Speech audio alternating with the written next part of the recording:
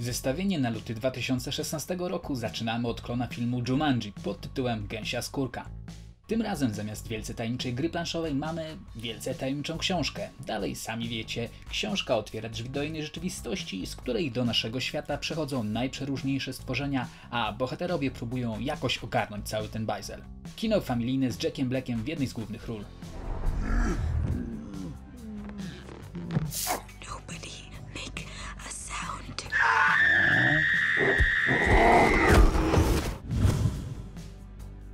5 lutego możemy wybrać się do kin na obraz Spotlight. Produkcja traktuje o aferze pedofilskiej wśród księży, na trop której wpadają bostońscy dziennikarze. Czy będą w stanie przerwać wieloletnią zmowę milczenia i dziwny układ między Kościołem a prawnikami tuszującymi zbrodniczy proceder? Na ekranie zobaczymy m.in. Marka Ruffalo czy Michaela Keatona. We understand you've settled several cases against the church. I can't discuss that. There aren't any records of any of these settlements. Nope. Komediodramat o islandzkich hodowcach baranów? Czemu nie?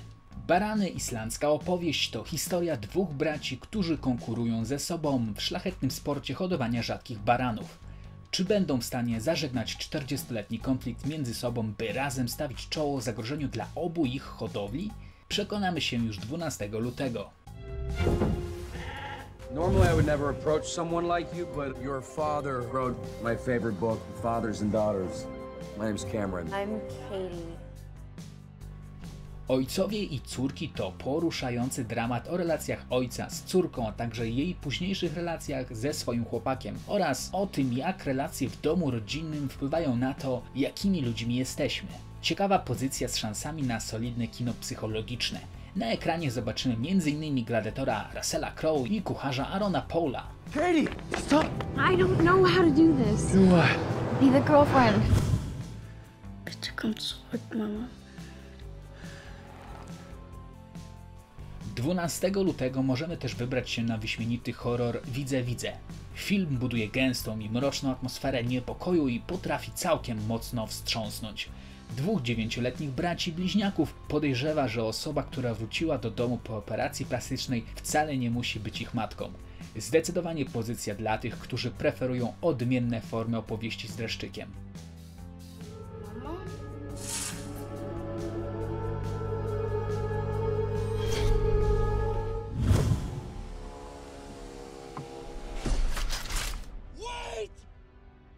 Wondering why the red suit. Well, that's so bad guys can't see me bleed. Deadpool to kolejny element komiksowej inwazji na srebrne ekrany i przy tym jeden z bardziej wyczekiwanych przeze mnie. Poddany niebezpiecznemu eksperymentowi były żołnierz zyskuje moce, które pozwalają mu na sianie zamętu, szerzenie strachu w sercach wrogów i dokonanie zemsty na pewnym bardzo niedobrym człowieku. W filmie z mocno komediowym zacięciem w głównej roli zobaczymy Ryana Reynoldsa. Oh, motherfucker, you are hard to look at. Like a testicle with teeth. You look like Freddy Krueger face fucked a topographical map of Utah. Exactly. Nawalisz, oddajesz blachy. Zgoda. Zwierzogród to propozycja od Disneya na 19 lutego. Animacja zaprosi nas do tytułowego Zwierzogrodu, miejsca, w którym mieszkańcy to same zwierzęta, dosłownie. Królik i lis stają ramię w ramię w celu zażegnania tajemniczego spisku i oczyszczenia lisa z nieprawdziwych zarzutów. Jeżeli chcesz wybrać się z dzieckiem do kina lub pośmiać się z drugą połówką, to propozycja dla Was. Po prostu Disney, sami rozumiecie. To jest Sebastian. Do dziury. Tatusiu! A obiecałeś żadnych takich na moim weselu. Przepraszam, kochanie, tatuś musi.